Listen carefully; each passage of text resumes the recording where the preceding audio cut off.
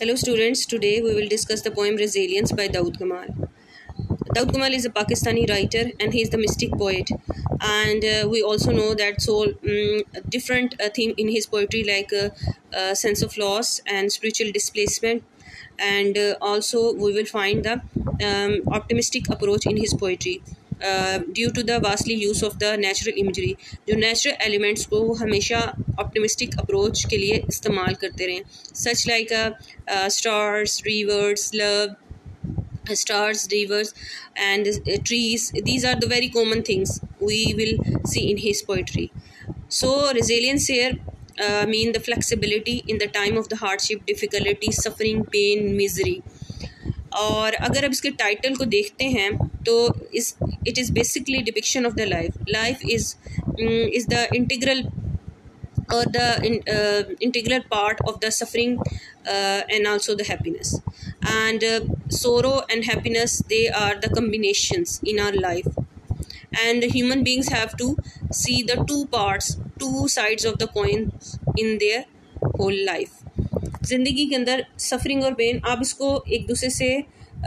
Segregate نہیں کر سکتے۔ یہ ایک زندگی ہیومن بینگس کا ایک امپورٹنٹ ایلیمنٹ ہے۔ انسان کی جو زندگی ہے، وہ basically struggle per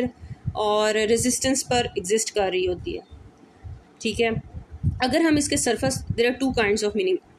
in this poem one is a surface other is beneath the surface meaning اگر سرفس میننگ کو ہم دیکھیں، تو جو پہلی لائن ہے، جس میں وہ بہت خوبصورتی کے ساتھ یہاں پہ ایک دوسرے رائٹر کی کوٹ کر رہا ہے دا ان انڈیوریبل ان the beginning the کرف of the جو ہے جب انسان کی تکلیف، پریشانیاں، مصیبتیں جو ان بیئریبل ہو جاتی ہیں، تو اس ٹائم کے اندر جو ہے انسان کو آپٹمسٹک اپروچ کو اڈاپٹ کرنا چاہیے کہ یہی بگننگ ہوتی ہے جوائس کی ہیپینس کی good life coming up coming life کے لیے پازیٹیوٹی اور اسی طریقے سے اگر اب ہم اس کا کریٹیکل انالیسس دیکھیں تو ہمیں ساتھ اگر سرفس میننگ کو دیکھیں اور ٹو حصوں میں ہی ڈیوائڈ کر لیں، تو ہم دیکھیں گے کہ one should be flexible in handling the affairs and the difficult situation of the life کہ فلیکسیبل ہونا چاہیے اور کیونکہ انسان کی زندگی میں جتنی بھی ہارڈ شپ سفرنگ پین آتی ہیں that is the normal thing ایسا نہیں ہوتا کسی بھی انسان کی زندگی میں all the time happiness all the time sorrows یہ زندگی کا ایک حصہ ہیں، ٹھیک ہے؟ اور جیسے کہ قرآن پاک کی آیت کا، آیت بھی ہے ایک،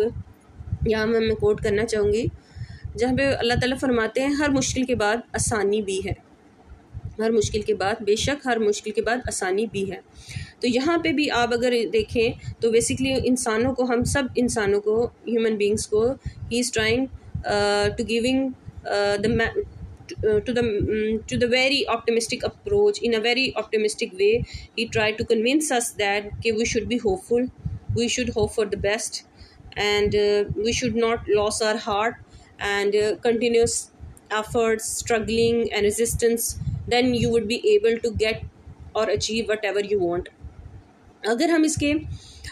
بینی دا سرفس میننگ دیکھیں تو وی کین سی دیٹ کہ after the partition nineteen forty seven when the Muslims migrated from India to the Pakistan the Muslims have had so much hardship suffering pain and they lost their homes and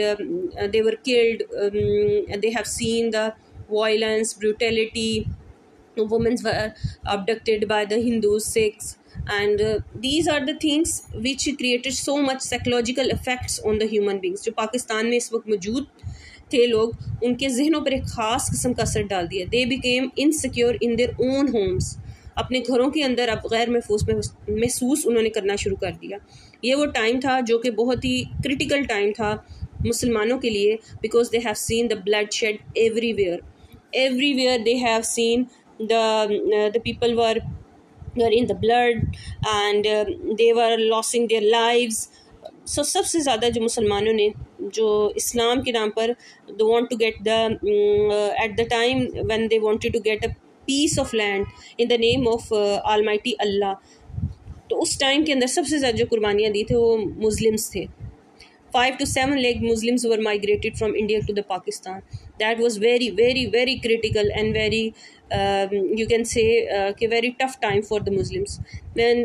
at last they migrated from India to the Pakistan and they settle down but they psychologically they were affected because they can't forget that brutality even بہت سے لوگ جو یہاں پہ set بھی ہو گئے تھے، اس کے باوجود ان کے ذہنوں کے اوپر ایک جو اس اس سب سچویشن کا جو اثر تھا that was very very deep تو اس ٹائم کے اندر ہی wants to give the message to the Muslims that and Pakistani that they don't give up nothing last longer کوئی بھی مشکل پریشانی جو ہے زیادہ عرصے تک نہیں رہتی ایٹ لاسٹ اسے ختم ہونا ہوتا ہے اور کوئی بھی رات چاہے جتنی مرضی لمبی at last the day has to come دن نے آنا ہوتا ہے ٹھیک ہے اور اور جو مشکلیں پریشانی ہوتی ہیں، اس کا ٹائم ختم ہو جاتا ہے۔ جس طرح ایک بڑا، ایک رائٹر تھا، اس نے بڑا ایک ایک شعر تھا، غم سے ہو کر انسان تو مٹ جاتا ہے غم۔ مشکلیں مجھ پر اتنی پڑی کہ آسان ہوگی۔ کہ مسلمانوں نے اتنی مشکلیں اور پریشانیاں، مصیبتیں جھیلی تھیں کہ اب they became use to اب ان کے لیے کوئی بھی سفرنگ اور پین نہیں ہے۔ وہ آگے سے یہی مسلمانوں کو میسیج دیتے ہیں، پاکستانیوں کو میسیج دے رہے ہیں اور رائٹرس کو کہ they don't give up they have to they have to develop the connection with the nature because the boat on the river and flowering uh,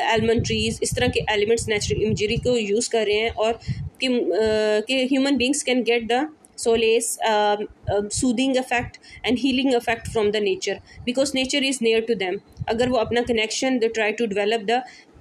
uh, connection with the God and their own self and uh, develop the purity of the heart and the mind, they would be able to cure their their wounds اپنے زخموں کو وہ heel کر سکتے ہیں، ٹھیک ہے؟ کیونکہ this is the only way they can revive their intellectual and spiritual abilities and source of pleasure for the human beings کیونکہ انسان کے لیے جو نیچر ہوتی ہے، ہمیشہ سورس آف پلیئر ہے۔ نرس ہے ٹیچر ہے، جیسے ولیم ورڈس برتھ کہتا ہے۔ ہمیشہ انسان اپنے دکھ، تکلیف کو بھول جاتا ہے،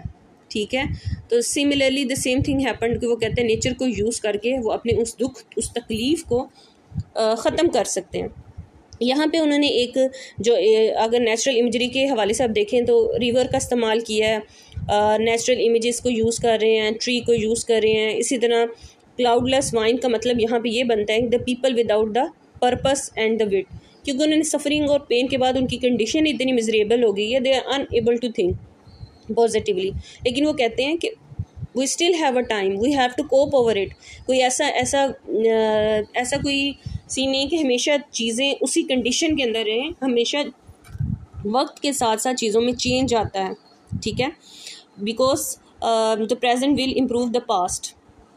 ہمیشہ اینڈ اسی طریقے سے جب آپ کے uh, جب آپ کی زندگی کے اندر چینج آتا ہے اور آپ جیسے جیسے وقت کے ساتھ ساتھ آگے موو کر رہے ہوتے ہیں، تو آپ کی جو سفرنگ اور پین ہوتی ہے وہ ایک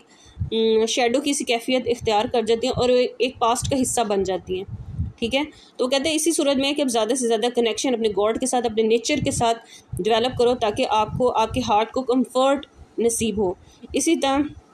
وہ آگے جو لاسٹ لائنس میں وہ، جیسے glimpse of the perfection and cusp of the moon and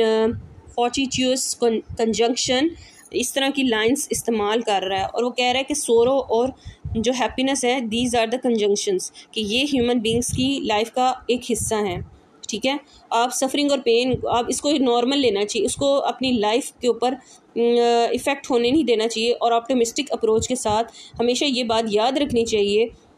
the joy will and the سورو کہ جو خوشی ہوتی ہے، ہمیشہ جو ہوتی ہے، تکلیف کو ایک وقت جب آپ خوش ہوتے ہیں، آپ تمام غم تمام تکلیفوں کو بھول جاتے ہو۔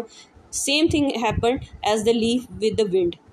as the leaf turn with the wind جس طرح کہ ایک پتا جو ہوتا ہے، وہ اپنی جو جو ہے ٹرن لیتا ہے۔ سملرلی اگر اسی اسی طریقے سے اسپارک جو ایلیمنٹ یوز کیا ہے سمبل اگر آپ دیکھیں سمبلزم کا استعمال دیکھیں، تو spark is the sign of the light hope and happiness کی ایلیمنٹ ہے۔